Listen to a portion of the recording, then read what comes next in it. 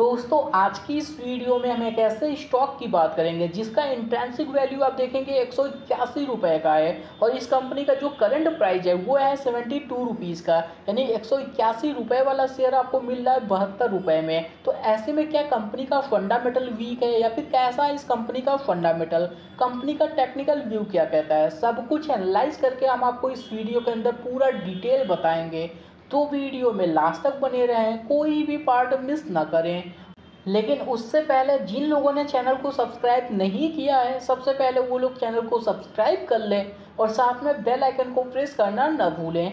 तो देखते हैं इस कंपनी के डिटेल को। सबसे पहले कंपनी के मार्केट कैप की बात करें तो 277 करोड़ का इस कंपनी का मार्केट कैप रहा है। वहीं अगर इस कंपनी के 52 वीक हाई और 52 वीक लो की बात करें तो आप देखेंगे पचपन रुपये सत्तर पैसे का इस कंपनी ने लो बनाया था।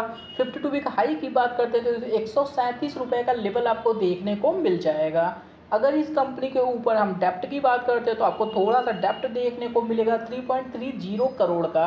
अगर इस कंपनी के प्रमोटर्स होल्डिंग की बात करें तो 53 परसेंट का प्रमोटर्स होल्डिंग का स्ट्रॉन्ग डिटेल आपको देखने को मिलता है।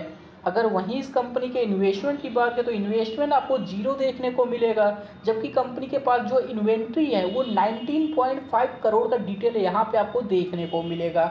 ओवरऑल जो डिटेल है इस कंपनी का, वो आपको स्ट्रॉन्ग डिटेल देखने को मिलता है। तो देखते हैं इस कंपनी के और डिटेल दोस्तों, अगर इस कंपनी के नाम की बात करें तो मैं बात करा एडसॉप ई रिटेल लिमिटेड आप देखेंगे सेवेंटी टू रुपीज़ पे आज यह कंपनी क्लोज हुआ है।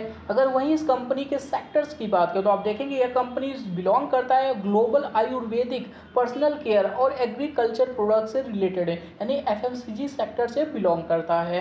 तो देखते हैं इस कंपनी के टेक्निकल व्यू को। दोस्तों, अगर इस कंपनी के टेक्निकल व्यू की बात करें तो आप देखेंगे यह कंपनी जो कि काफ़ी तेज़ी के साथ ग्रो कर रहा था, ऊपर जाकर रजिस्टेंस फेस करता है इस लेवल पे और वहाँ से गिरना स्टार्ट कर देता है। कंपनी 50 दिनों के मूविंग एवरेज और 200 दिनों के मूविंग एवरेज को ब्रेक करके उनके नीचे आ चुका है। इसका मतलब है कि इस कंपनी में अभी और गिरावट आपको देखने को मिलेगा। दोस्तों, जिन लोगों ने इस कंपनी को शॉर्ट टर्म के लिए बाई किया है, उन्हें छाछठ रुपये पे अपना स्टॉप लॉस लगाना चाहिए और इस कंपनी को आगे के लिए कंटिन्यू करना चाहिए। कंपनी जैसा इस रेंज को ब्रेक करता है, तुरंत शॉर्ट टर्म वालों को निकल जाने की तैयारी कर लेनी चाहिए। लॉन्ग टर्म के लिए जिन लोगों ने बाई किया है, बिल्कुल होल्ड करके चलें पैनिक ना करें। हालाँकि स्मॉल साइज़ है तो थोड़ा सा आपको रिस्क ज़्यादा देखने को मिलेगा, लेकिन आपको पैनिक करने से कोई फ़ायदा नहीं होने वाला है।